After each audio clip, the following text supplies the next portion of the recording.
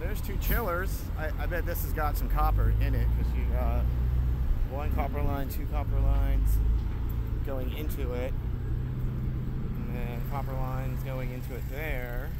Then you got the big rooftop AC right here. So yeah, that's definitely a chiller. So there's going to be a lot of copper in there because usually when they wrap them like this with this stuff, there's copper in there.